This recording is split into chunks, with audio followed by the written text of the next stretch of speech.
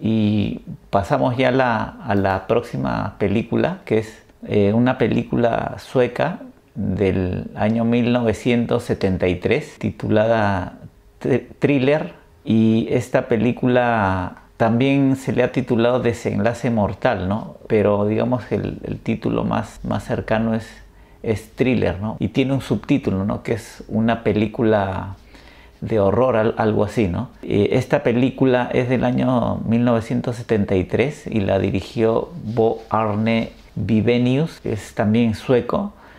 Y este director, he leído un poco sus trabajos, los trabajos que ha realizado y solo, solo hizo tres películas, ¿no? Esta fue su segunda película y parece que después eh, hizo una más y, prácticamente desapareció del, del, ámbito cinematográfico, ¿no? Y no, no, se sabe mucho qué fue de, su vida o, de, o si, pudo haber realizado otras películas más, ¿no? Pero digamos que esta película de la cual vamos a hablar también es una película que influyó, ¿no? sobre todo eh, también en, Tarantino, que se, se, basó en este personaje para, también crear otro personaje también en la película de, de, Kill Bill, que es este personaje que tiene un parche ¿no? en, el, en el ojo. ¿no? Daryl, Daryl Hannah. Daryl Hannah, ¿no? Y aquí es donde vemos el, origen de, ese, de, esa inspiración, ¿no? Que es, este, bueno, la película eh, está protagonizada por Cristina Lindberg y eh, también leí que ella eh, fue estrella del cine porno, ¿no? Del cine porno sueco. Y, y posteriormente se, dedicó a escribir, ¿no? Ahora creo que es periodista pero en, esa época, digamos que lo que ella realizaba era cine, cine porno. Y esta película aprovecha también ese, ese plus que ella le, le aporta para mostrar también eh, escenas eh, explícitas de, lo que es lo que, lo que se le conoce como cine porno, ¿no? Aunque no, no, no se le podría considerar a la película pornográfica, aunque tenga estas escenas, porque digamos que las películas pornográficas lo que buscan es el placer eh, sin más, ¿no? En cambio, en esta película se cuenta una historia, no se está contando la historia de este personaje que utiliza algunas escenas características del cine porno para mostrarnos eh, qué es lo que está viviendo y qué es lo que está sufriendo ¿no? el, personaje. ¿no? Y es, la historia de esta, de esta joven que es eh, secuestrada y, drogada y, obligada a prostituirse ¿no? en, un, burdel. Y, es a, través de, esta, de estas drogas que le administran que ella se vuelve adicta y como que la tienen eh, secuestrada por eso, ¿no? Porque si, si, ella se va ya no va a tener la, la droga que, que, está necesitando, ¿no?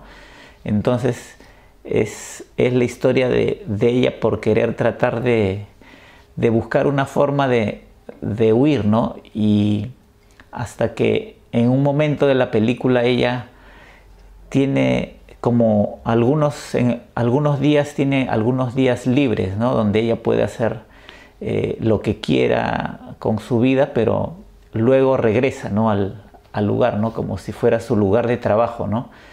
Entonces ella en estos momentos libres que tiene aprovecha para, para prepararse, para entrenarse, para practicar una serie de, habilidades que la van a ayudar posteriormente a, liberarse, ¿no? a, a, liberarse de este secuestro, ¿no? el que la tienen proxeneta, ¿no? que, que la ha obligado a, a, quedarse allí. No sé qué te pareció a ti, John, la película. Sí me ha gustado, este, porque noté, como tú lo has dicho, este, que de aquí salió el personaje de Daryl Hannah, que hizo Daryl Hannah en Kill Bill. Eh, y que, y que también, no sé si tú has notado, Leo, en, una de los, uno de los momentos de la película hay un sonidito especial que asemeja al sonido de Viernes 13, ¿no? Del personaje, donde sale el personaje Jason. Por ahí noté ese siseo, ese siseo con la voz, bien claro. Sí, tiene aparte, eh, en lo que es el sonido, tiene unos sonidos bien extraños que los ha utilizado como fondo, no sé si fondo musical, pero son como ruidos que, que los utiliza en momentos climáticos para, para crear una sensación, ¿no? para buscar una sensación y eso también me, pareció que aportaba bastante, ¿no? Porque no solo es buscar una música cualquiera, sino que han buscado unos, eh, una especie de sonidos o en algunos momentos ruidos que como que incomodaban también lo que, lo que se veía, ¿no? O sea, aportaban incomodidad a, a lo que ya era incómodo ya de verlo, ¿no? Así es.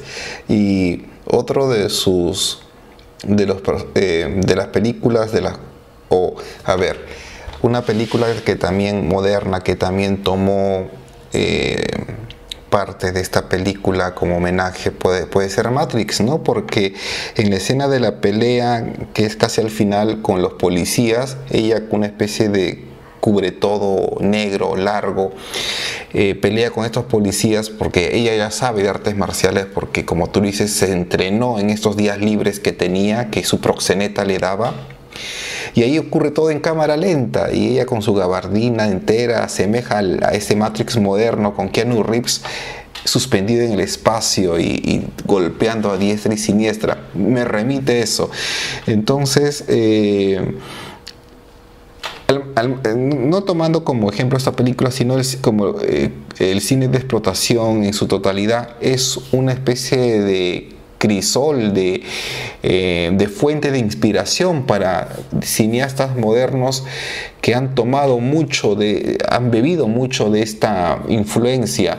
Y como he leído alguna vez, este todo ya está inventado, ¿no? Este, yo cuando vi Kill Bill eh, la primera vez eh, dije qué genio la de Quentin Tarantino en recrear toda esta serie de personajes, ¿no? Pero luego viendo las películas eh, de la serie B, que quizás no todo el mundo conoce, no todo el mundo haya podido ver, ahí está pues la fuente, ¿no? Es una fuente inagotable de de cosas, de personajes, de situaciones de música, eh, de las cuales un director puede, eh, puede tomar eh, como suyo y después este, catalogarse como genio, ¿no? y también por ahí he escuchado otra, otra expresión que hice para el mundo del cine, ¿no? Que copiar es, copiarse es lícito, es, es lícito copiarse en el sentido de que cuando uno se apropia de algo, de otra película, este, lo transforma para, eh, para su beneficio, eh, lo recrea con su historia y, digamos que no, no, viene a ser una burda copia, sino es, eh, ha pasado por un proceso creativo que, lo, que, que al entrar en una nueva película ya eh, no, tiene, no tiene mucha conexión con la película anterior. Eh, entonces, en esta película thriller eh, veo mucho de eso, veo mm, observo de que este personaje, de que el personaje de, de, Kill Bill es una copia exacta de esta, de esta, de esta película y y tengo sentimientos encontrados ¿no? con, con, Quentin Tarantino este, y quizás discutir qué tan genio puede ser él, ¿no?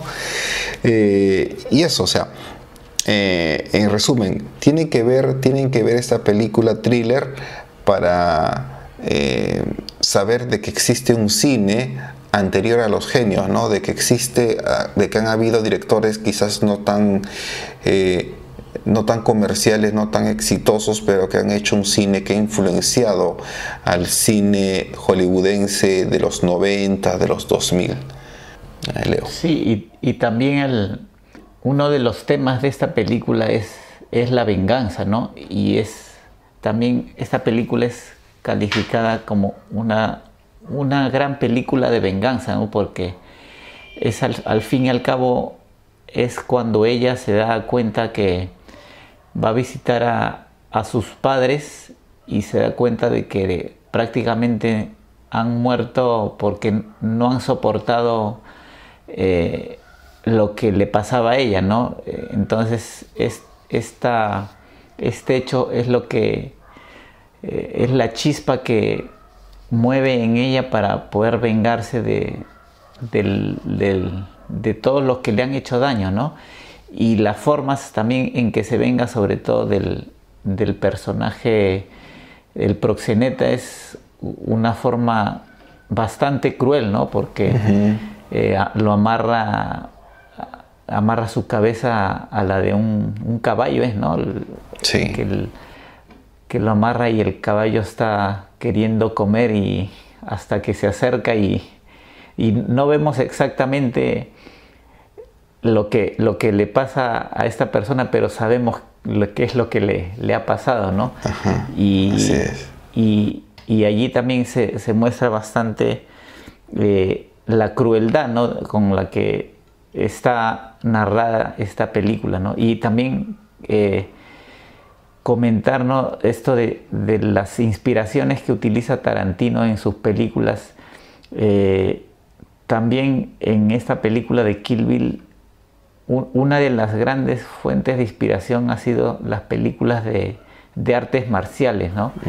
Y es el arte, las películas de artes marciales eh, de Asia, en las, en las cuales él se inspira, todas estas películas también son consideradas como películas de explotación, ¿no? Porque se hicieron por centenares allá en Asia y, y lo hacían por el simple hecho de que sean consumidas en masa, ¿no? Entonces, eh, Tarantino es un, reciclador de películas de, explotación de todos lados, ¿no? De, Europa, de, Estados Unidos, de Asia, y, y por eso este, parece que él fuera original, ¿no? Pero es inspiración de, lo que él ha visto, ¿no? Ha tomado un poco de todo. De ser cinéfilo y de ser este bien observador y, saber sacar eh, las mejores cosas de, cada género y de cada país, ¿no? Y bueno, es,